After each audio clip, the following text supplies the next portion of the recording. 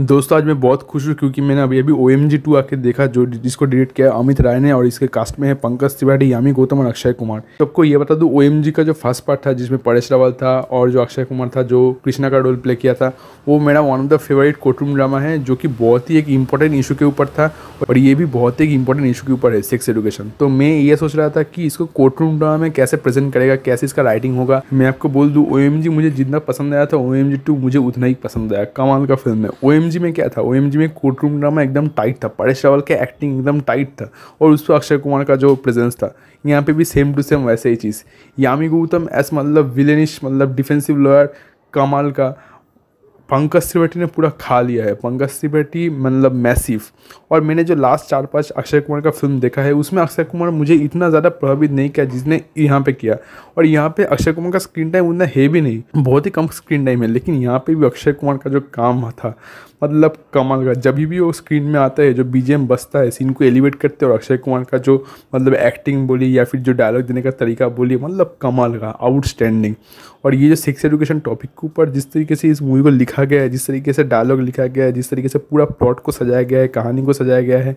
मतलब मैं आपको बोलता हूँ, अगर आप देखने लगोगे तो आपको कमाल का लगेगा, कमाल का। मतलब एक सेकंड के मतलब दो घंटा चालीस मिनट का फ़िल्म मुझे लगा ही नहीं कैसे दो घंटा चालीस मिनट निकल गया। इतना फास्ट है फ़िल्म कहानी कहानी बहुत ही सिंपल तरीके से शुरू होता है। एक चीज़ हमको पहले दिखाया जाता है, थोड़ा बिल्डअप करते हैं स्टोरी उसके बाद कोटूम ड्रामा शुरू होता है। और जो कोटूम ड्रामा शुरू होता है तो धीरे धीरे करके एक के बाद एक के बाद एक जो चैलेंजेस आता है और जैसे जैसे डेवलप होता है, मुझे कमाल का लगा, सच कहूँ। और गाना, और जो खास करके जो बी जब अक्षय कुमार की एंट्री होता है या फिर अक्षय कुमार को जब भी दिखाता है, जो बी का पीछे बसता रहता है, वो बीजेम में ढूंढ रहा हूँ, क्योंकि वो बीजेम इतना एडिक्टिव है। मतलब हॉल में ही मुझे लग रहा था कि ये बीजेम अलग से निकलना चाहिए, कमाल का बीजेम है। और जिस तरीके से यहाँ पे डायलॉग्स लिखा गया है स्टोरी को लिखा गया है राइटिंग मतलब अगर आपकी कोर्टरूम ड्रामा बनाना चाहते हो तो आपका पहला जो पॉइंट होता है राइटिंग राइटिंग आपको मतलब तगड़ा करना है, क्योंकि जो एक के बाद एक काउंटर होता है, वो काउंटर आपको लॉजिकल देना है और मज़ेदार देना है। जैसे जॉली एल बी टू का है ओ एम जी का है मतलब लॉजिकल और जैसे मज़ा आना चाहिए ऑडियंस को गूजबम्स फील होना चाहिए तो यहाँ पे भी सेम टू सेम है।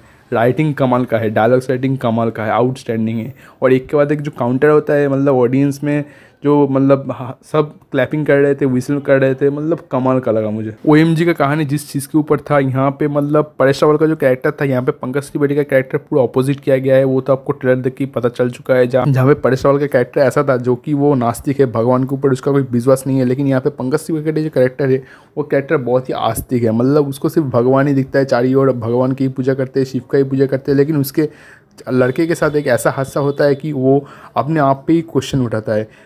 तो ये जो चीज़, ये जो चीज़ सजाया गया है, वो मुझे कमाल का लगा। और कुछ कुछ डायलॉग से और ख़ास करके सॉन्ग्स में बोला कमाल का है डायरेक्शन अमित राय का डायरेक्शन मुझे बहुत ही अच्छा लगा मतलब कमाल का लगा। और जो कैरेक्टर डेवलपमेंट किया गया है, खास करके पंकज त्रिवेदी के साथ साथ जो बाकी सारे एक्टर्स है को एक्टर्स है, उसका बेटा बोलिए, जो विवेक का रोल प्ले किया है, कमाल का एक्टिंग इसका पत्नी बोलिए या फिर उसका बेटी बोलिए, सबका परफॉर्मेंस कमाल का। और यामी गौतम एक सरप्राइज़ देने वाला है आपको। जी हाँ यामी गौतम को इसका पहले मैंने बहुत सारे मूवीज़ में देखा हूँ, बहुत सारे सीरीज़ में देखा हूँ, लेकिन इतना ज़्यादा मतलब प्रभावित, इतना ज़्यादा अच्छा परफॉर्मेंस यामी गौतम का, इसलिए पहले इससे पहले तो मैंने नहीं देखा। यहाँ पे आमी गौतम ने एक एक ऐसे एक्सप्रेशन दिए, एक एक ऐसे डायलॉग डिलीवरी करते हैं मतलब आपको लगेगा कि यामी गौतम एकदम मतलब थेस्पियन एक्टिंग कर रहा है, ऐसे एक्टिंग कर रहा है आमी गौतम। ओएमजी में और एक बात अच्छा था कि ओएमजी का जो है स्क्रीन प्ले बहुत ही टाइट था तो मैं सोच रहा था ओ एम का स्क्रीन पे टाइट होगा कि नहीं, क्योंकि कोटरूमडा मैंने जो पहले ही बोला स्क्रीन पे टाइट होना चाहिए। अगर स्क्रीन पे टाइट नहीं होता है तो वो एक फॉल्टी चीज़ हो जाता है, क्योंकि कोर्टरूम ड्रामा आप बना रहे हो, अगर आपका स्क्रीन पे नहीं है, आपको ऑडियंस को अगर आप इंगेज नहीं कर पाते हो तो ऑडियंस क्यों देखेगा? ऑडियंस तो बोर फील करेगा ही, लेकिन यहाँ पे वो नहीं होता है। ऑडियंस को एकदम इंगेज करके रखता है, एक के बाद एक डायलॉग एक के बाद एक काउंटर जाच का कॉमिक टाइमिंग पंगस तिवारी का कॉमिक टाइमिंग यामी गौतम का कॉमिक टाइमिंग और तीन चार से जैसे आवाज़ आते हैं। तो और जो कन्वर्सेशन है, वो इतना कॉमन मैन की तरह इतना रियलिस्टिक किया गया है, काफ़ी अच्छा लगा मुझे।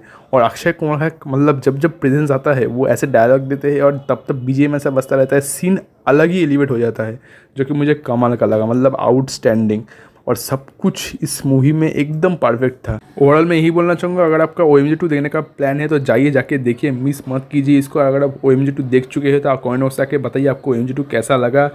मतलब मुझे मुझे तो लगता है आपको अच्छा ही लगना चाहिए क्योंकि सबको अच्छा लगा है और मुझे भी कमल का लगा।